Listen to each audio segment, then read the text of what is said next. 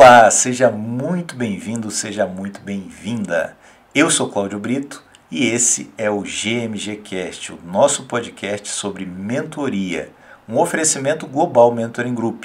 Aqui nós transformamos seu conhecimento em mentorias que impactam vidas e geram resultados extraordinários. Faça parte de um grupo internacional de mentores. Eu estou hoje aqui falando com o Nuno Faria.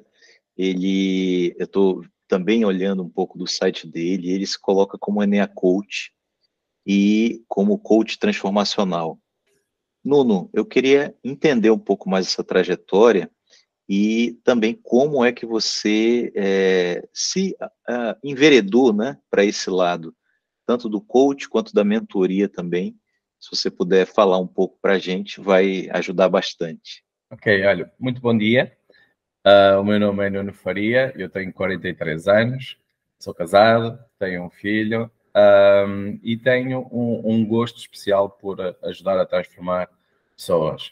Um, eu criei, de facto, o Tu Não Estás Só, é, é, minha, é o, meu, o meu programa, é, é, é, como eu costumo dizer, é nosso filho né, na transformação pessoal, uh, muito com a, a, parte do Enneagrama da personalidade e depois também as mentorias com a, a, todo um método que eu trouxe da Global, não é? é foi aí onde eu conheci o Cláudio Brito e tudo começou por aí.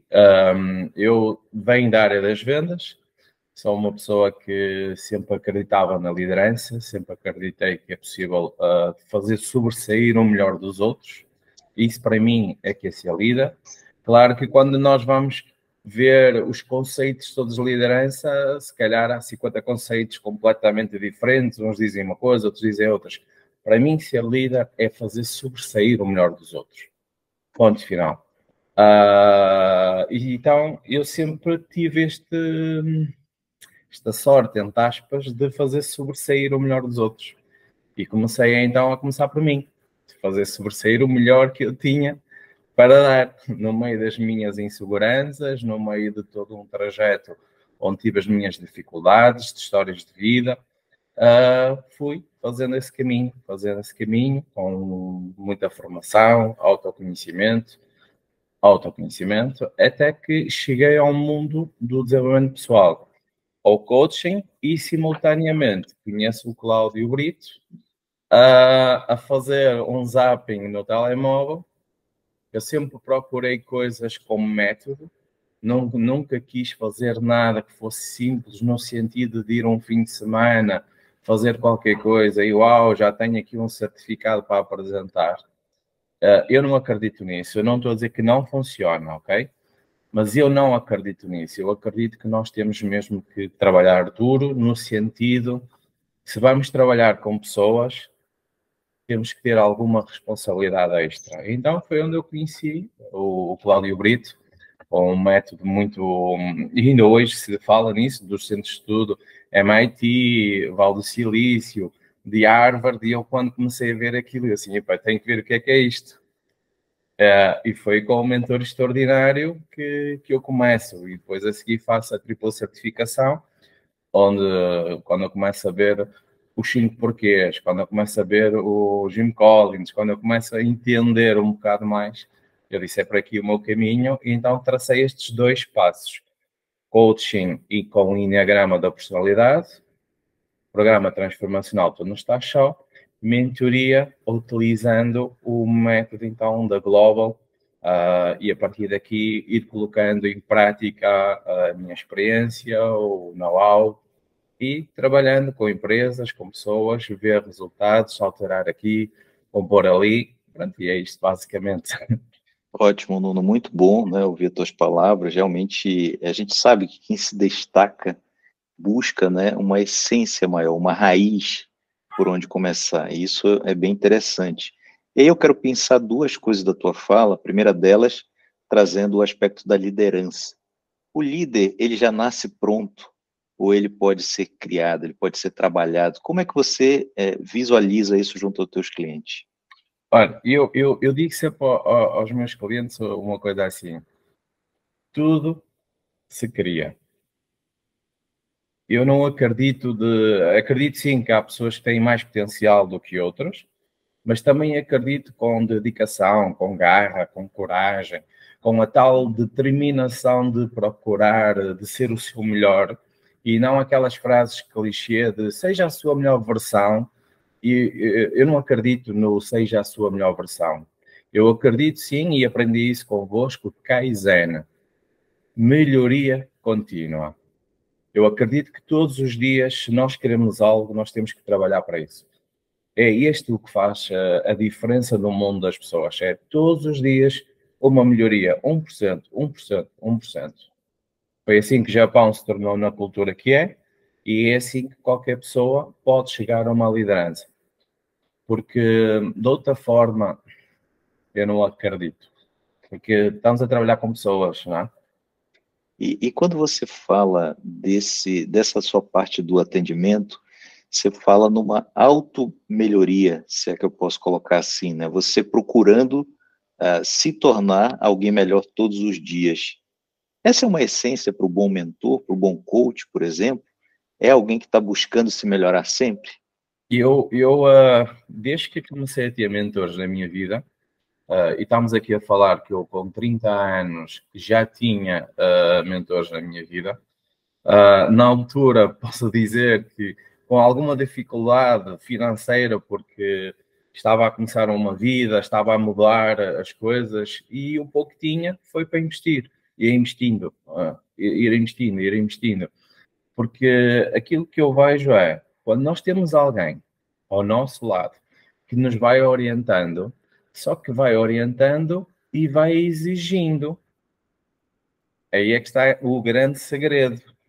Vai orientando, mas vai exigindo. Quando nós temos alguém que nos faz isso, que não nos passa só a mãozinha, mas sim que, que nos desanca quando tem que nos desancar, que nos põe a pensar, que nos põe aqui a dizer, então se queres, vai, faz. Como é que vais? Como é que vamos? Como é que não sei o quê? Quando, quando começa a haver muito como, a nossa vida dá um salto brutal. E, e, é isso que eu digo às pessoas todas. Eu não sou nenhum supra-sumo, não sou aquela pessoa, uau, eu tenho milhões, tenho não sei o quê. Não sou nada disso, não, não, não sou, mas sei de algumas coisas. E uma das coisas que eu sei é que nós, com as pessoas certas na nossa vida, podemos levar uma empresa lá acima, como também com as pessoas erradas à nossa volta, podemos nos desgraçar. Basicamente é o que eu. A partir daqui, somos nós que escolhemos. Interessante, Nuno. Quando você fala também disso, é natural que você comece a trilhar aí e atrair um certo público. Eu acredito muito naquela lei da atração em que a gente acaba atraindo pessoas muito próximas a gente, né? pessoas que passaram ou estão passando por problemas que nós já superamos e por isso elas buscam a gente para, de alguma forma, evoluir. Quem é o público que o Nuno atende hoje? Olha, eu, um, eu sempre tive, uh, por motivos uh, pessoais, uh, como eu, quando éramos mais novos, nós tínhamos alguns problemas em casa, familiares, eu sempre tive para mim a ideia que toda a mulher devia ser independente uh, independente não só financeiramente, mas sim se tem que estar com alguém do seu lado, que seja por de facto por amor, por, por, as, por família e não por uma obrigação porque precisa do dinheiro que o marido ganha ou não sei o quê. Então eu sempre tive esta, esta ideia de tornar mulheres independentes, de tornar pessoas independentes. E foi a partir daqui que surgiu o meu público que era pegar nas mulheres e torná-las independentes. Pegar nas mulheres, torná-las líderes das empresas.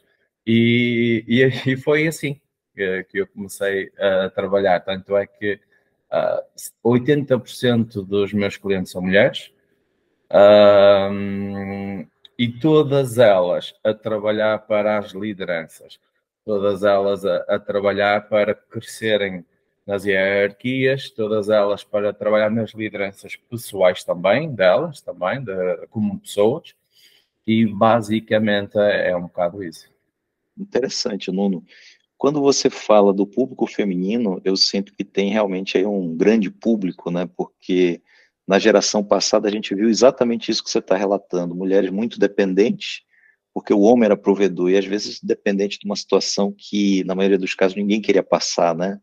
Situações difíceis. Qual é o método que o Nuno usa para resgatar isso? E a gente está falando também de método, né?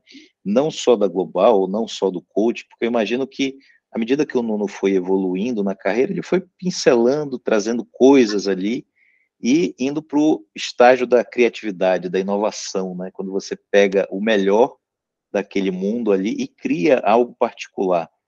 Você pode falar um pouco desse método seu? Sim, eu, eu quando criei um método, tu não estás só, uh, o que é que acontece? Como o Cláudio estava a dizer muito bem, a roda está inventada.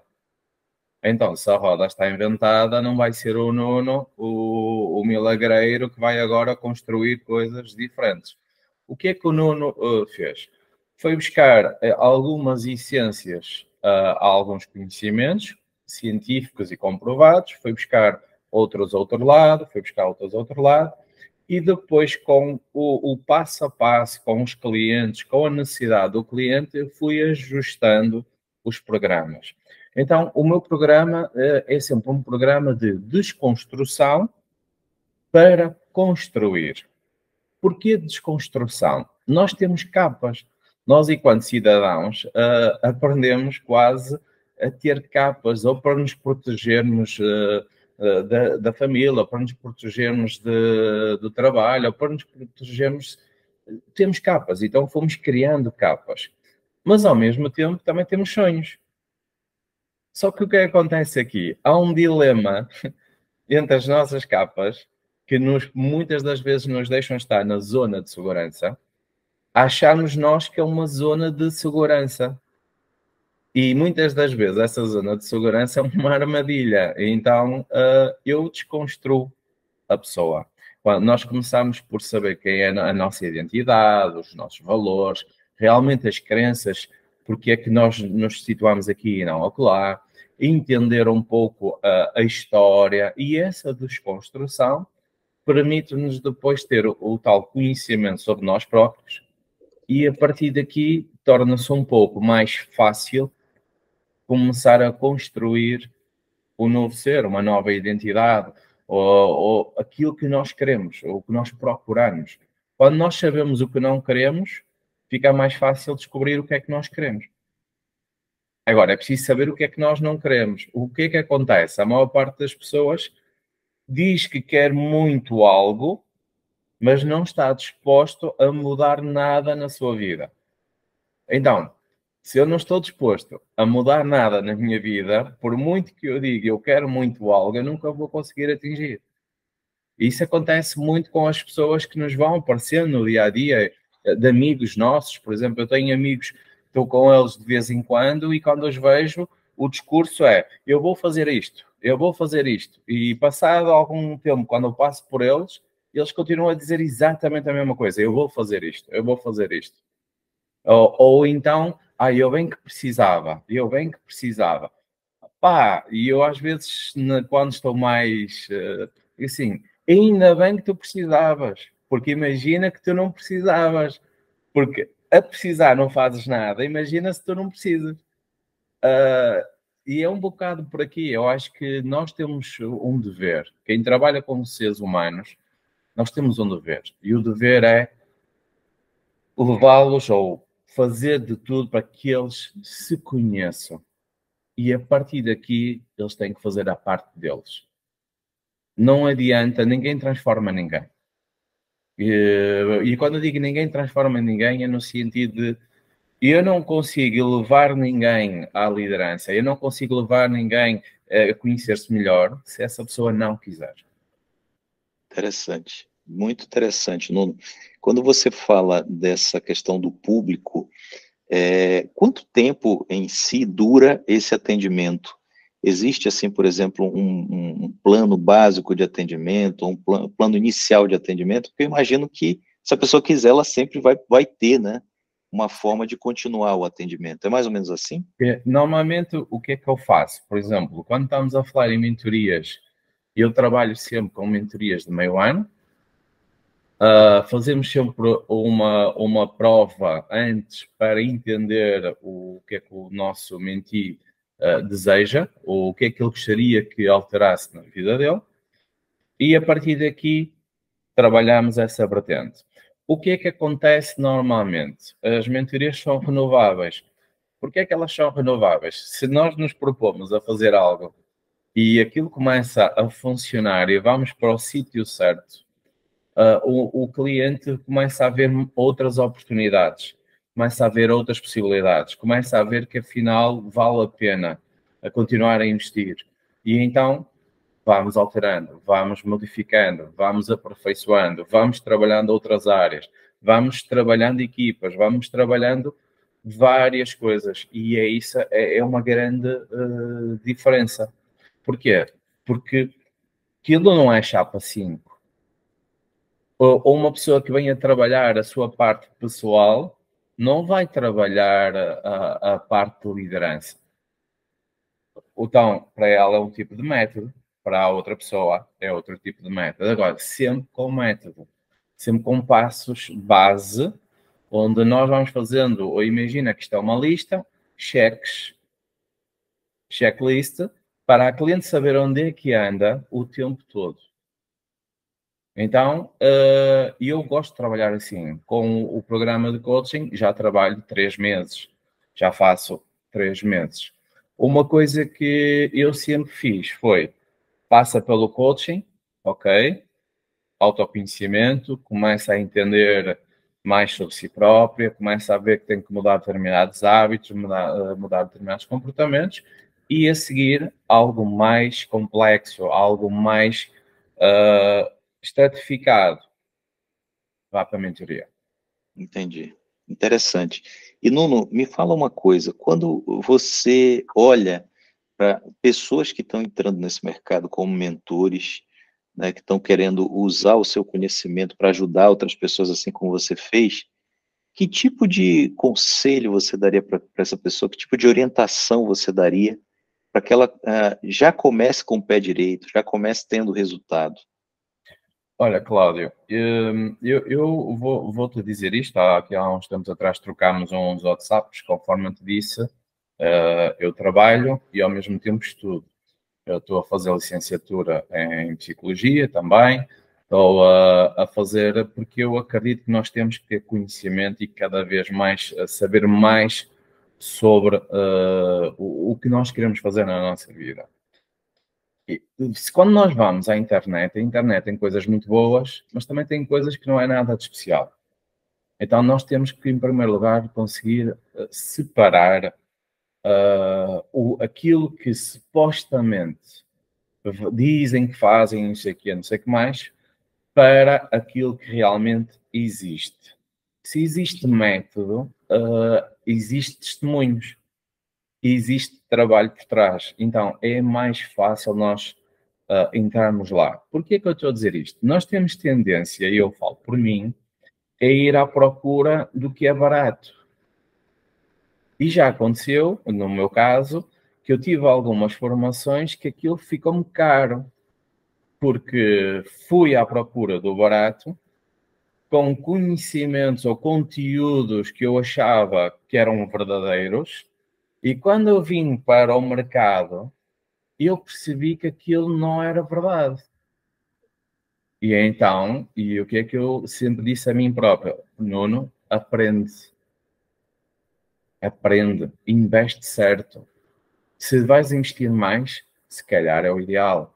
O que é que está por trás das pessoas? Quem são as pessoas? Há quanto tempo existem? São pessoas que estão sempre a trocar de empresas? Não estão? Porque neste mundo já se viu muita coisa. Então, interessa-me isso. Uh, e interessou-me eu aconselho a todas as pessoas, que é aquilo que querem, quem são as pessoas que existem, que lhes podem trazer uma boa ferramenta, bom conteúdo, bom método.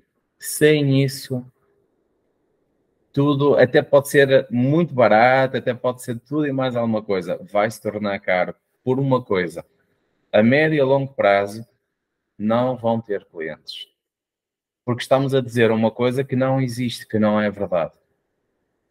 Bem interessante, isso que você trouxe. Outro dia eu estava lendo, não lembro agora o autor, mas ele estava falando justamente sobre esse aspecto que você trouxe e falando assim: olha, se você tomou uma decisão de ir por um caminho A ou B pelo investimento que você ia fazer, você acabou de deixar o dinheiro decidir por você. Né? Não é o que você quer, é o que o dinheiro deixa. É então, aí você acaba é, indo por um caminho que não necessariamente é o melhor caminho. Né? Foi o dinheiro que decidiu. Então, quando você tira esse aspecto, você começa a olhar as coisas com mais clareza, né? Ok, é um pouco mais caro, mas é o caminho que eu devo seguir, né? É o caminho que meu coração está dizendo.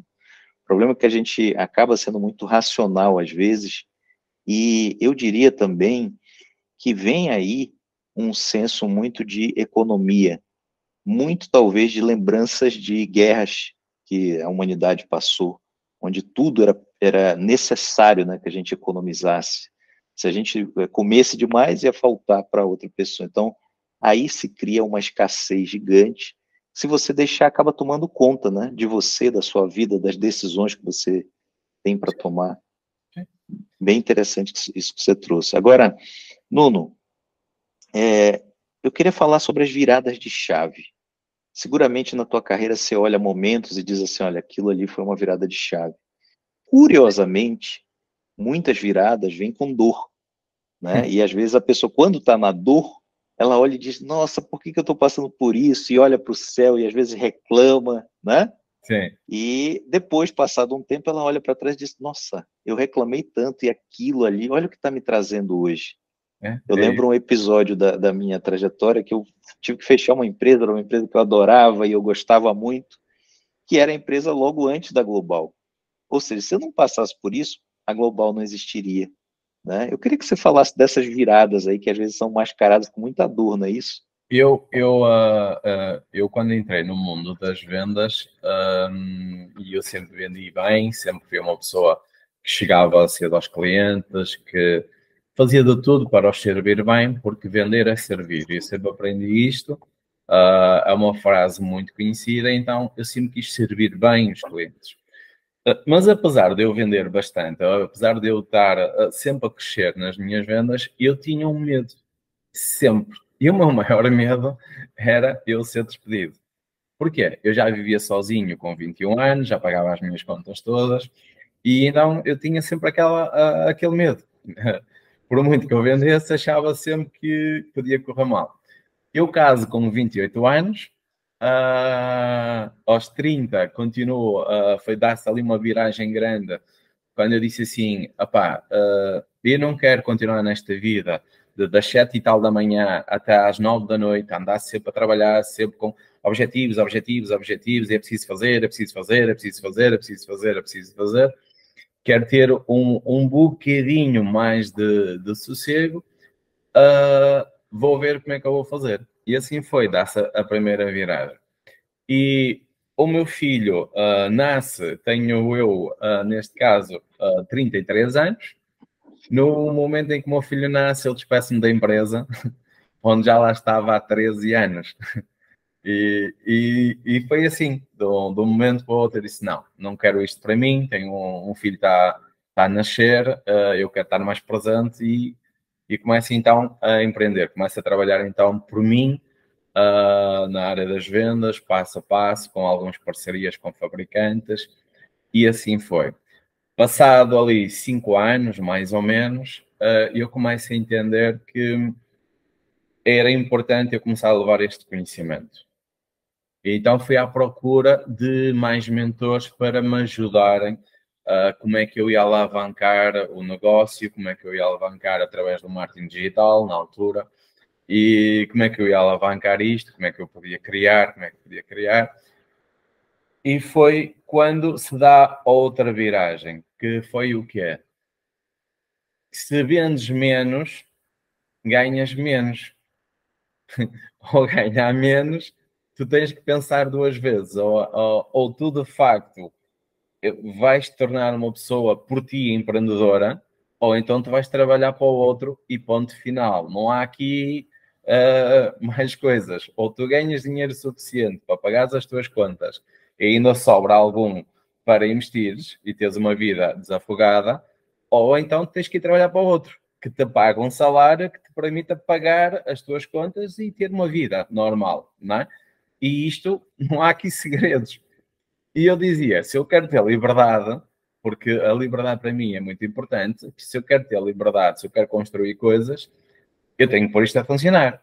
Era isso que eu dizia. Então, como é que eu vou pôr isto a funcionar? E, e isto, uh, falo eu, pensava eu que ia conseguir ter mais horas, mais horas livres, é, porque é assim que se vende nas redes sociais. Você vai ter mais horas livres, você vai ter não sei onde, você vai trabalhar não sei de onde. E está tudo certo. Isso é tudo verdade, não é mentira nenhuma, porque há pessoas que de facto trabalham 3, 4, 5 horas por dia e têm uma vida, uau, tomara eu tê-la. Um, mas só que quem começa, como foi o meu caso, não é assim. É preciso batalhar, é batalhar, é preciso ganhar autoridade, é preciso ganhar notoriedade, é preciso que apareçam os primeiros resultados nos nossos clientes para que eles depois passem a palavra a outros. Isso tudo é uma dor. Até que surge outra dor, que foi, uh, não, com marketing digital, tu fazes um site, tu pões Instagram, tu pões Facebook, vais ver com os posts, tu vais arranjar muitos clientes, e quando vamos a ver, as coisas não são bem assim, mais uma vez, lá vem outra dor, mais investimentos, mais investimentos, e tu olhas e assim, e o retorno? É que se não há retorno, não é investimento, é uma despesa.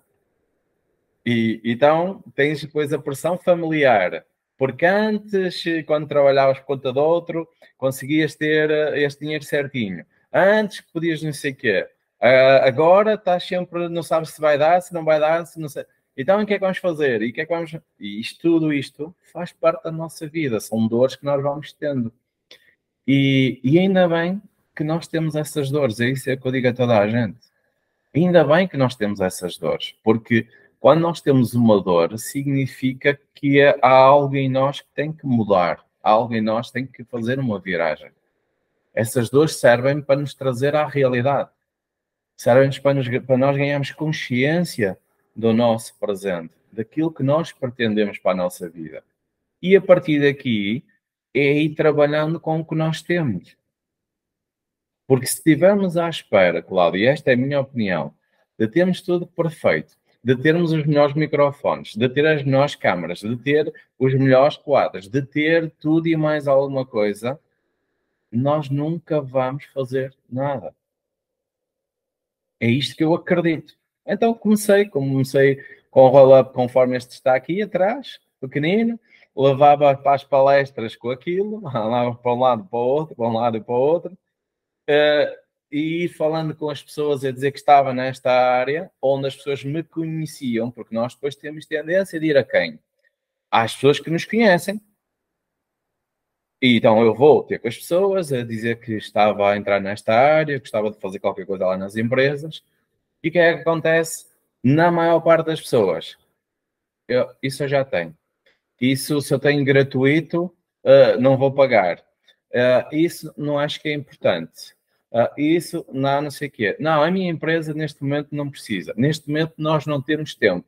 Neste momento uh, a minha equipa está bem formada, não vale a pena estar a trabalhar nada.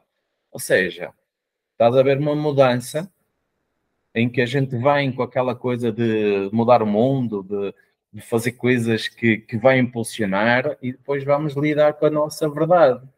Por isso é que eu digo, a verdade magoa, mas liberta-nos. A dor magoa, mas faz-nos crescer.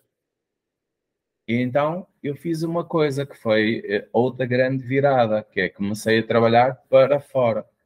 Comecei à procura de clientes no Brasil, comecei à, à procura de clientes em França, no Luxemburgo, então comecei dessa forma. Só mais tarde é que comecei a trabalhar com os da minha cidade. Só muito mais tarde. E eu digo isso a toda a gente: se eu estivesse à espera das pessoas que me conheciam ele estava desgraçado porque na altura as pessoas não acreditavam. Não, não acreditavam, pensavam, ah, este fez uma formação e agora já acha que sabe. Este fez não sei o quê e agora já acha que estava. porque era isto que se dizia. Eu não tenho segredos, por isso é que eu te dizia que normalmente eu digo as coisas de coração, é o que é. Não, não ponho aqui com manipulações. Pá, isso dói.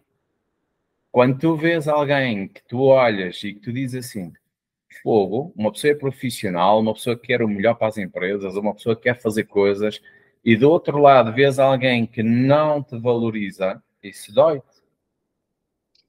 E, e Nuno, você trouxe aí muitas coisas interessantes, né? Eu diria muitas coisas aí que estão interligadas e são pontos aí muito claros de, de virada, de decisões. É, esse, por exemplo, que você trouxe de, de as pessoas da tua própria cidade olharem para você e não, não acharem né, que valia o investimento, você faz uma jornada fora e busca outras coisas, eu acho que é de uma, de uma sabedoria e também de, uma, de um aprendizado gigante, né? É, inclusive para elas, né, que deixaram de, de contratar você lá no início, por exemplo. Mas eu fico pensando, no, de tudo que você viu, uh, você conseguiria hoje dar um conselho para pessoas que estão enfrentando a mesma dificuldade, pessoas que estão ali lutando ainda com pouca credibilidade, né, é, sofrendo muitas vezes por não conseguir pagar uma ou outra conta. O que, que você diria para essas pessoas, não? Aquilo que eu digo é, é aquilo que eu digo sempre. Uh, e aprendi isso numa frase, mais uma vez, é clichê, mas que é de Mohamed Ali em que ele dizia: Eu uh, treino para que na competição eu sofra menos. Não é? E, e uma coisa é certa: eu, enquanto Nuno, enquanto eu não desistir de mim, eu não desisto da vida. Então, a primeira coisa que eu faço é não desistir de mim. Se eu acredito que eu consigo, eu faço tudo o que tem de ser feito até lá chegar.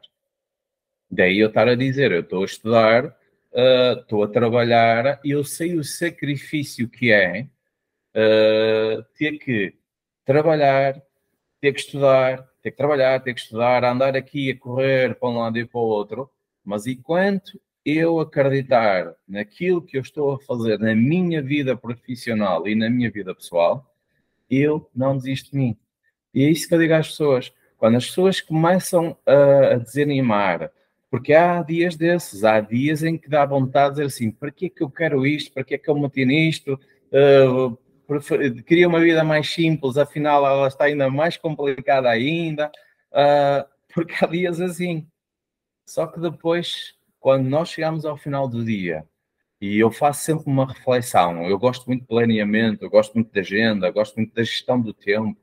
Uh, quando eu faço uma reflexão, eu digo assim: Uau, uau, hoje não desististe de ti, hoje deste mais um salto, uau, e aqui entrou o Kaizen na minha vida, uau, mais um bocadinho, mais um bocadinho. E com o tempo, com o, a, a, nossa um, forma de pensar para conosco, com a nossa compaixão, mas também com a nossa garra de puxar por nós, porque às vezes é, temos que ser nós a puxar por nós. Porque sem querer, as pessoas estão à nossa volta, às vezes querem a nossa segurança. Não. E sem querer, empurram-nos para baixo. Então temos que ser nós a puxar. Então eu digo isso a todas as pessoas: não desistas de ti. Quando estás a desistir de ti, não estás a desistir de ti. Estás a, deixar de desistir da tua vida. Quem são as pessoas que fazem parte da tua vida? Quem são as pessoas que tu podias estar com elas de forma diferente?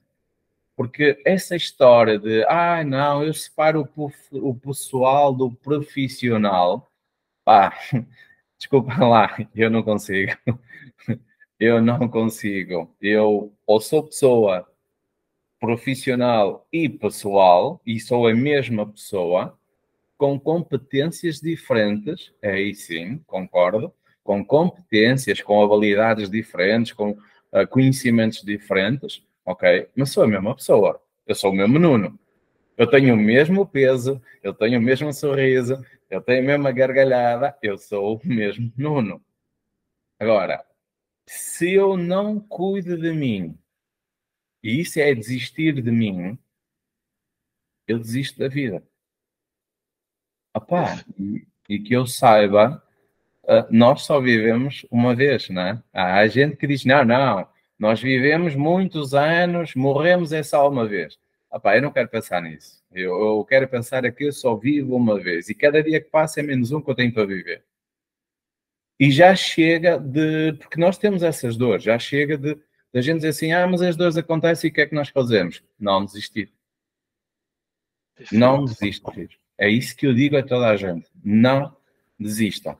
Nas mentorias, eh, principalmente quando apanho algumas pessoas da parte financeira, porque há muito essa, essa coisa do financeiro, e eu dou sempre o exemplo do, de um cliente, sempre em que ele chegou e ele ganhava mil euros por mês. Ele estava na área das vendas uh, e eu começo-me a rir, porque eu digo assim: quem está nas vendas pode ganhar o dinheiro que quiser. E, e a pessoa ficava assim.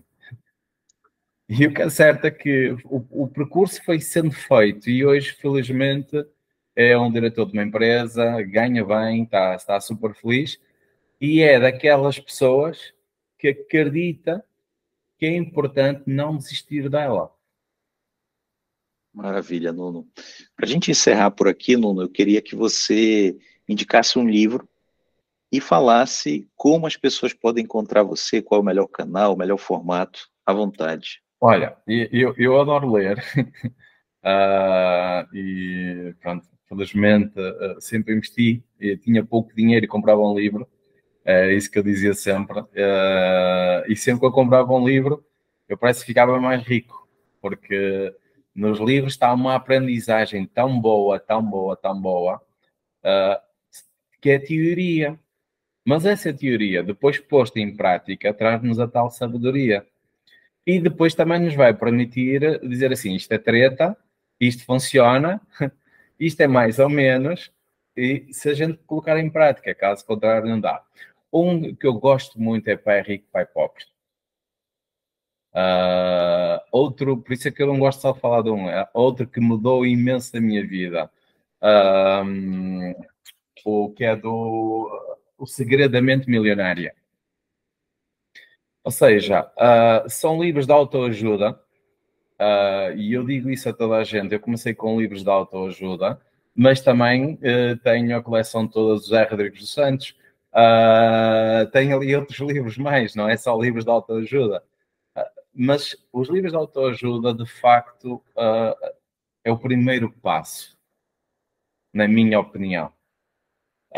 não são valores muito altos e que, se colocarmos em prática muitas das coisas que lá estão, nós temos um crescimento mais rápido. A partir daqui, na minha modéstia opinião, mais uma vez, é encontrar as pessoas certas para fazer as caminhadas connosco. Essas pessoas certas, muitas das vezes, vão nos dizer coisas que nós não gostamos, mas é sempre para que a gente não desista de nós próprios. Este é aquilo que eu faço com todos os meus clientes. Eu não desisto deles, como eu não desisto deles, eu provoco-os. Como eu não desisto deles, eu faço de tudo para que eles por eles próprios comecem a entender o que é que está a passar. Então, são esses dois livros que eu aconselho. E quem quiser encontrar o Nuno, qual é o melhor caminho, o melhor Olha, canal? Eu tenho, eu tenho o site uh, do Tu Não Estás Só, uh, Nia Coutos Nuno Faria. Uh, está em mudanças, mas uh, está, está sempre uh, operacional. Uh, Instagram também, uh, arroba Nuno Faria, uh, Nia Coutos Nuno Faria. Facebook também. Uh, Presencial, tenho dois gabinetes, um em Amarante e um em Belo Real, onde faço atendimentos presenciais. E depois, quem entra em contato para fazer as palestras, eh, eu desloco-me aos locais, mediante o que for combinado. Uh, e, é um bocado por aí. Uh, e sou esta pessoa. Olha, Nuno, muito obrigado aí pelo seu tempo. Adorei a entrevista como um todo e certamente vai florescer muitos insights, né, muitos aprendizados que você teve e repassou aí para o nosso público. Mais uma vez, obrigado e sucesso aí na sua carreira.